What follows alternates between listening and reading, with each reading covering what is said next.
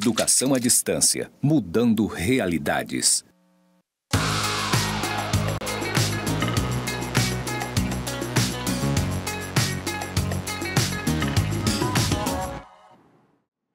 Saudações, pessoas! Sejam bem-vindos aos cursos do Instituto Federal de Educação, Ciência e Tecnologia de Rondônia, o IFRO, Campus Porto Velho, Zona Norte. Você está na licenciatura em Pedagogia EAD e eu sou a professora Anabela Barbosa. Juntinhos estamos na jornada de legislação educacional na trilha LDB. Nesse episódio, encerrando a trilha LDB. Hum, é, das disposições gerais. Ah, esse episódio ali, ah, esse episódio tá tudo, porque a gente faz ó, uma recapitulação. Então, se você perdeu algum episódio. Aliás, se você perdeu algum episódio, vai lá e assiste, não é verdade? Ah, mas fica comigo aqui se você quiser conhecer quais são as disposições gerais da LDB para a educação. Vamos lá? Bom, vamos iniciar com a minha audiodescrição, é claro, na é verdade? Então, eu sou uma mulher parda, de cabelos pretos na altura do ombro, tenho 41 anos, é, estou com um vestido rosa de bolinhas brancas, de poá, né, no francês, e ao fundo está a plotagem dos estúdios com o fundo branco e conectores cinza. Ao meu lado está a nossa tela interativa e o meu sinal para a comunidade Libras é Anabela. Não poderia começar diferente, evidentemente, e hoje eu vou começar com a citação do Vitor Paro. Sim, ai, ai ó, vale a pena, viu, gente? Ó, ai que tudo, hein? Educação como exercício de poder, uma crítica ao senso comum em educação. E este livro, todo ele é importante, necessário para você que é professor, educador. Mas eu vou ler um trechinho lá da página 24 que diz assim: Pensar o homem como objetivo da educação exige, antes de tudo, ter clareza a respeito de sua especificidade histórica. O que capacita o homem a tornar-se histórico é, antes e acima de tudo, sua condição de sujeito. É como sujeito que o homem se diferencia do restante da natureza. Ele é o único ser para quem o mundo não é indiferente, como já dizia Ortega y Gasset. Isso significa que ele é o único que se desprende de sua condição meramente natural, pronunciando-se diante do real e criando valores. Na criação de valores, revela-se o caráter ético do homem. É por essa característica que ele transcende a necessidade natural, porque cria algo que não existe naturalmente. E é nesse exercício que ele cria o poder. E é na condição de poder que você pode transformar. Hum, então a educação é poder? Então a educação transforma? Então a educação gera conhecimento, conhecimento é poder, poder transforma? Qual é a relação que você estabelece sobre isso, hein? Leia aqui a nossa indicação de leitura, a nossa dica de leitura do Vitor Henrique Paro, né, Educação como Exercício de Poder. E, com base nessa dinâmica de educação como exercício do poder, a gente vai ver as disposições gerais da LDB, a Lei de Diretrizes e Bases da Educação Nacional, encerrando a trilha LDB. Então, a gente tem a trilha constitucional e tem a trilha LDB. A gente já passou por vários percursos aqui, os princípios, a educação enquanto direito, a, os objetivos, as modalidades, as etapas, o financiamento a, dos profissionais da educação e agora a gente encerra a trilha com das disposições gerais. Vamos acompanhar aqui, a gente preparou algo especial. Então, para a gente fazer o resgate, se você não assistiu, assista. Nós temos episódio do Direito à Educação, dos princípios da educação, da organização, as incumbências dos entes federados, a estrutura da educação no sistema brasileiro.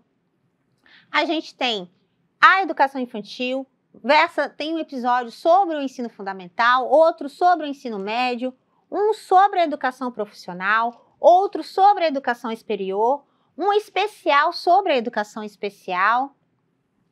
um que trata sobre os profissionais da educação, dois sobre recursos financeiros, um sobre recursos financeiros no geral e outro sobre o Fundeb.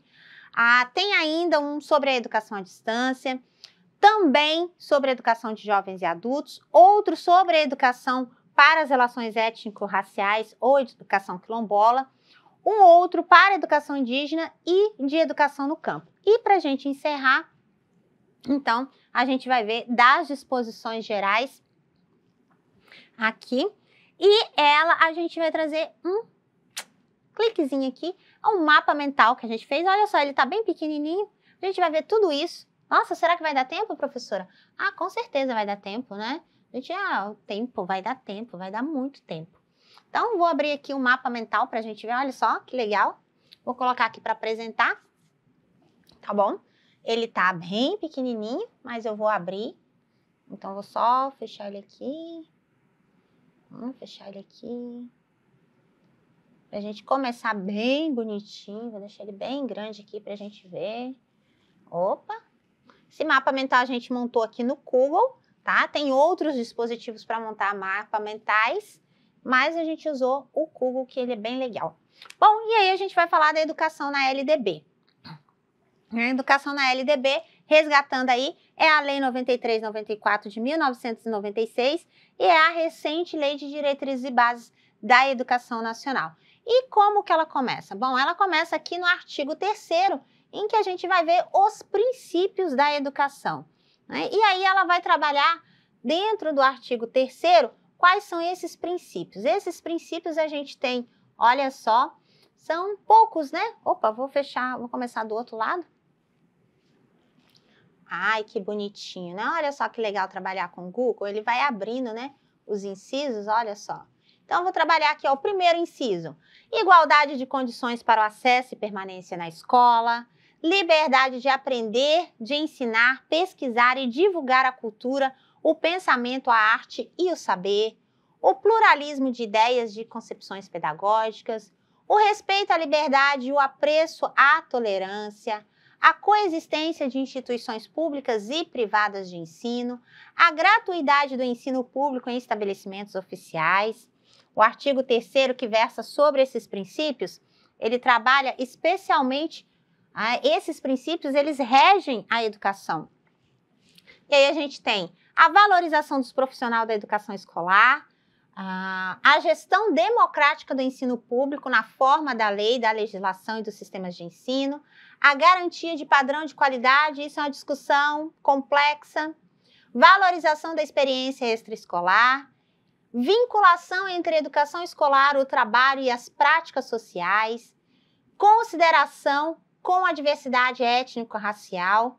A gente viu, inclusive, aí a lei de 2003 que altera a LDB para incluir as relações étnico-raciais, história e cultura afro, afro-brasileira e indígena, garantia do direito à educação e aprendizagem ao longo da vida, respeito à diversidade humana, linguística, cultural e identitária das pessoas surdas, surdo-cegas e com deficiência auditiva, incluído aí pela legislação a mais recente na LDB.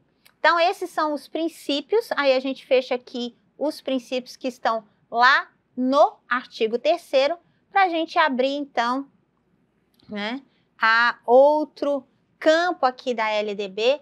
E aí a gente vai para aqui as nossas previsões que estão aonde? Olha só. Artigo 7 O que, que diz o artigo 7 Quem lembra o que diz o artigo 7 o artigo 7 vai dizer sobre a liberdade de consciência e crença. Sim, o artigo 7 vai dizer sobre isso. E o artigo 25 vai dizer sobre o quê? Bom, o artigo, vai, o artigo 25 vai prever um número de alunos, mas ele não diz qual a quantidade, de, qual é o número desses alunos, tá?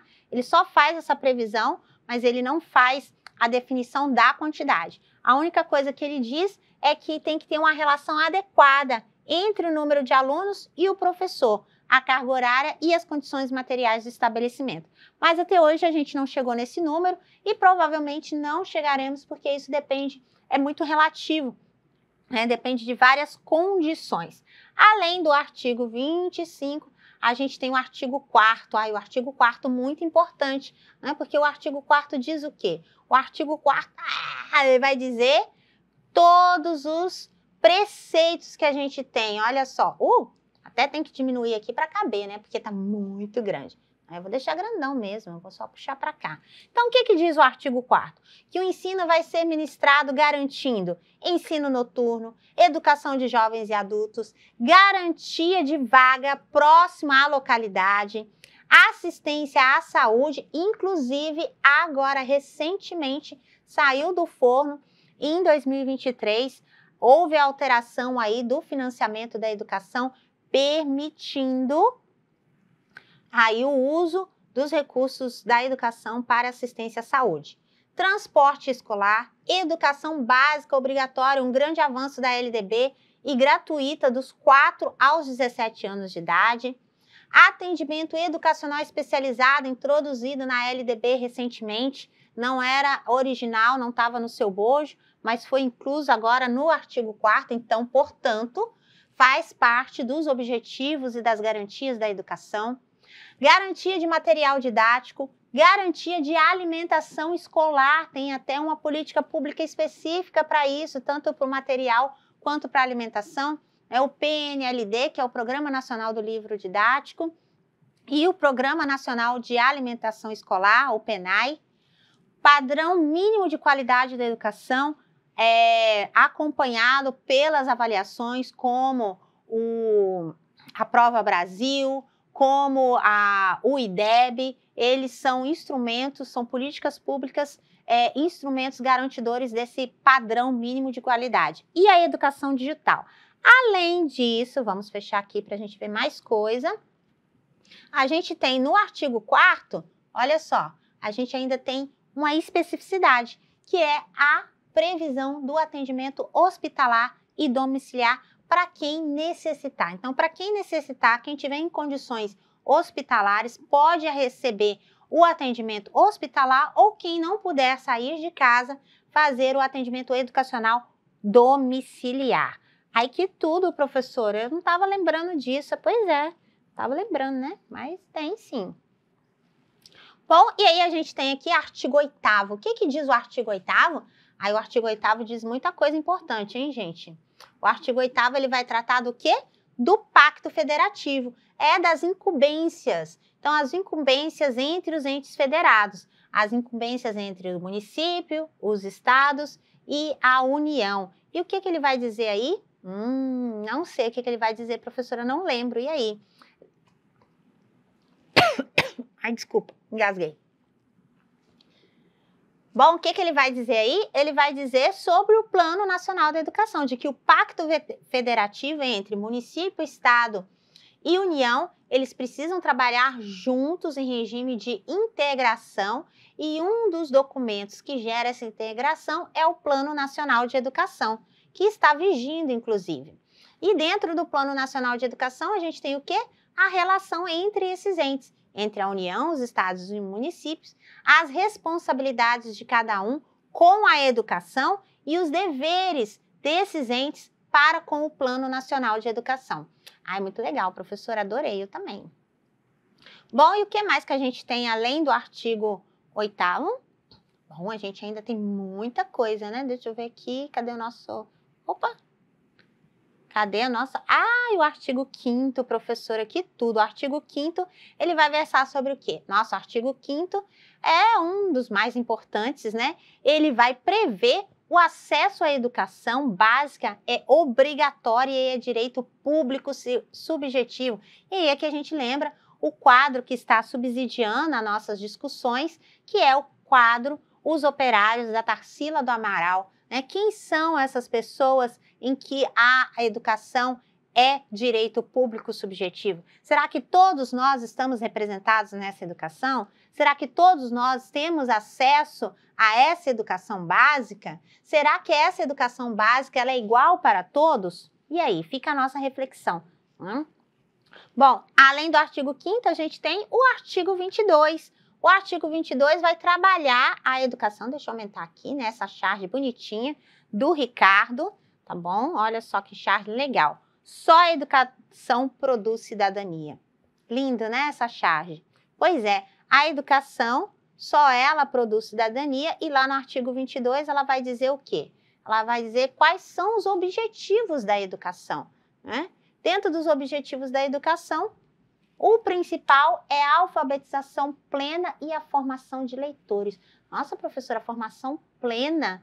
Ai, que bonito isso, né? Alfabetização plena e formação de leitores. Então, se a gente conseguisse pelo menos fazer a formação de leitores, a gente já estava no lucro, né? Fica aí a reflexão, mas é um dos objetivos da educação, tá? Além disso, deixa eu diminuir aqui para a gente visualizar o completo, a gente tem, upa, agora ficou pequenininho demais. No artigo 23, a gente tem aí alguns princípios importantes, que vai ser a organização da educação nacional. Como é que ela vai se organizar? Bom, ela vai se organizar prevendo aí a organização em séries anuais, períodos semestrais ou ciclos, alternância, a gente viu especialmente a pedagogia da alternância para a educação do campo, né? a grupos não seriados, com base na idade, na competência e em outros critérios ou por forma diversa de organização.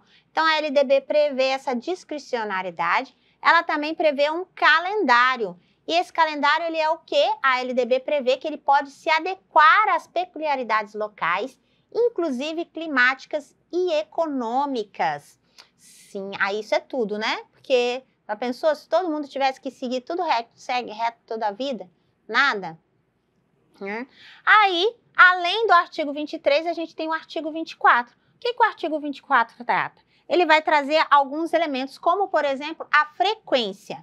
A frequência vai estar prevista pela LDB, que deve ser para a educação básica, inclusive o ensino superior, 75% de frequência para se considerar aprovado. É requisito previsto na LDB, tá, gente?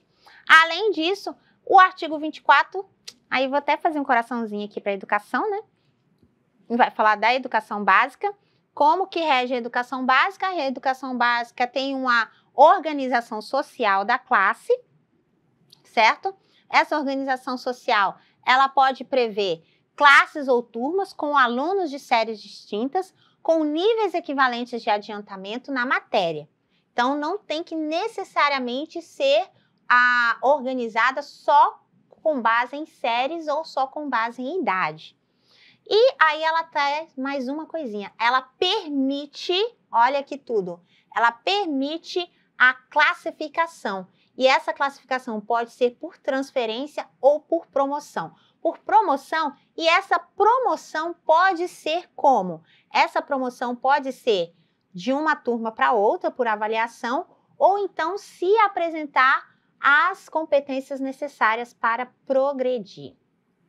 A educação básica se organiza em educação infantil, ensino fundamental e ensino médio, e a carga horária está prevista da seguinte forma: são 800 horas e 200 dias letivos. Essas 800 horas, elas podem ser ampliadas com o novo ensino médio de modo progressivo para 1.400 horas. Então, isso é o que está previsto na LDB, com relação à educação básica.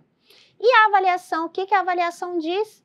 A avaliação na LDB está prevista assim: os aspectos, ela traz dois aspectos, nesses dois aspectos ela vai dizer que são os aspectos qualitativos e os aspectos quantitativos lembrando que há prevalência dos qualitativos sobre os quantitativos e dos resultados ao longo do período, ou seja, não é necessariamente os resultados que foi obtido em determinada avaliação, mas uma perspectiva de avaliação formativa. E ela prevê as formas de avaliação. Ela diz que a avaliação deve ser contínua e cumulativa, pelo menos. E ela também prevê aceleração avanço e aproveitamento. O que, é aceleração? Aceleração é caso o aluno tenha, por exemplo, a necessidade de adiantar uma série, um conteúdo ou um, um, um conhecimento. E o avanço e aproveitamento se dá por meio da progressão das séries. E para quem tem baixo rendimento, a LDB prevê os estudos de recuperação. Então, estudos de recuperação estão previstos na LDB, tá? É, especialmente declarados lá na nossa legislação da educação, a, da educação básica. Bom, o que mais que a gente tem aqui para a gente ver sobre a legislação? A gente já viu sobre a organização, aqui a gente também já abriu, e de modo geral a gente tem esses princípios. Se você quiser saber mais aí, vou, vou abrir aqui tudo, vai ficar bem grandão, mas só para vocês terem aí, né, uma noção de tudo que prevê a LDB, vou deixar aberto só para a gente encerrar aqui, vocês verem as nossas... Ficou até bonitinho, fala a verdade, gente, ficou muito bonitinho nosso mapa, não ficou? Olha, esse mapa está disponível aí no ambiente virtual, certo? Vocês têm a possibilidade de assim, aqui ó, falei, não falei do currículo. O artigo 26 ele vai trabalhar sobre o currículo. No artigo 26 vai trazer a ideia do pacto federativo e na ideia do pacto federativo ele vai abordar a BNCC e a BNCC foi construída de modo coletivo e dentro da BNCC ele vai tratar de duas partes, a parte comum e a parte diversificada. Na parte comum, que é obrigatória, ele vai prever, a BNCC vai prever as competências gerais e as competências específicas. E dentro das competências específicas, a gente tem todas essas áreas. Então, direitos humanos, língua estrangeira, educação física, realidade social e política, língua portuguesa, matemática, mundo físico, arte, história do Brasil e incluído pela legislação prevenção de todas as formas de violência. Além disso, quando ele for tratar de integralização curricular, ele vai prever, a LDB vai prever projetos e pesquisas e os temas transversais, tá? Então, vou diminuir aqui, mas vou deixar aberto só para a gente ver como esse mapa fica comprido. Bom, e ainda dentro do artigo 26, né, fazendo relação com o artigo 26, a gente tem o artigo 27, que vai trazer as diretrizes da educação. Nas diretrizes da educação, a gente tem que ela deve se orientar para o trabalho e prevalecer o interesse social, os direitos e deveres do cidadão, o respeito ao bem comum e a ordem democrática. Tão lindo isso, a gente já viu lá no artigo 8 o Pacto Federativo. Vou só abrir para a gente ficar visualmente agarrado na nossa memória. Né? E reabrir aqui o 24 para a gente ver todas as. a questão da frequência, a questão da educação básica. Opa! Hum. Lembrando que esse mapa ele vai estar, ele está, vai estar, não, ele já está disponível no ambiente virtual de vocês. Então, se você quiser acessar aí o Google, é só você acessar o ambiente virtual e acessar aqui o mapa, abrir Lógico que o mapa é uma construção específica, né? São as relações que eu, Anabela, estabeleço é, na minha mente sobre esses artigos. É, Para você estudar por mapas mentais, você deve aí fazer, construir o seu próprio mapa. Tem outros aplicativos que fazem isso. Né? Então, você tem, a, na verdade, vários aplicativos que trabalham com mapas mentais, mas de modo geral, esses são os princípios da LDB. Lembrando que nós temos aí, além dos que estão aqui, as modalidades de educação que prevê toda a educação especial, a educação de jovens e adultos, a educação quilombola e para as relações étnico-raciais, a educação especial, a educação bilíngue de surdos, incluída ah, recentemente, a educação profissional, a educação do campo, a educação à distância. Todas essas especificidades são contempladas como modalidades na LDB, além da valorização dos profissionais da educação. Então, a, a LDB é repleta de avanços avanços com relação principalmente à dignidade da pessoa humana, ao direito à educação e à contemplação das especificidades culturais, históricas, identitárias das culturas que compõem o Brasil. E bem como a educação voltada para a, o princípio educativo e formativo do trabalho para a educação ao longo da vida. Como alguns ranços, nós temos, infelizmente, ainda a perspectiva da formação de professores em nível médio, ainda há essa previsão na LDB, algumas é, resistências e algum, alguns limites com relação ao atendimento a, de é, atendimento especializado, atendimento educacional especializado para as pessoas que carecem desse tipo de atendimento, como neurodivergentes, e também ainda uma grande dificuldade na LDB é a qualidade da educação. Embora hajam políticas públicas é, que trabalhem no sentido de garantir os direitos que nós apresentamos aqui, há poucas, é, pouca efetivação dessas políticas e ainda uma distância muito grande entre os princípios que nós vimos aqui no artigo 3 e a realidade de muitas salas de aula.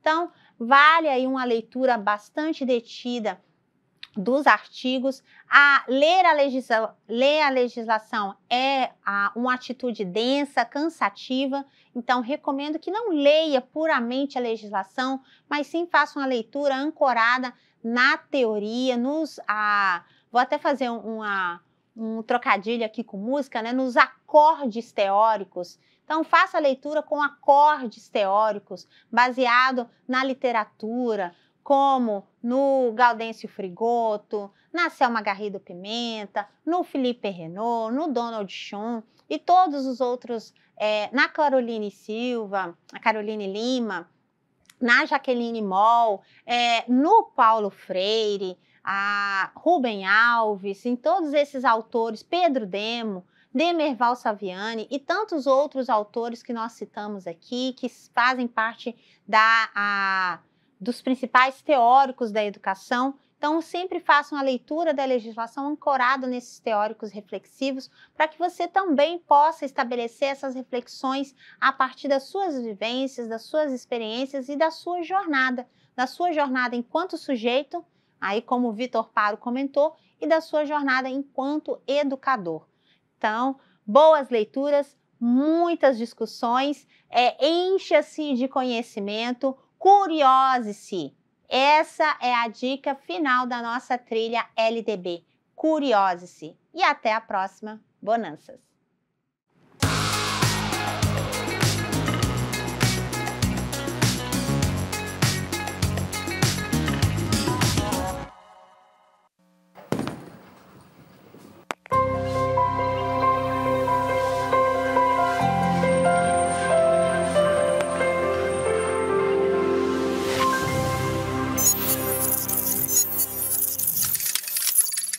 Educação à distância, mudando realidades.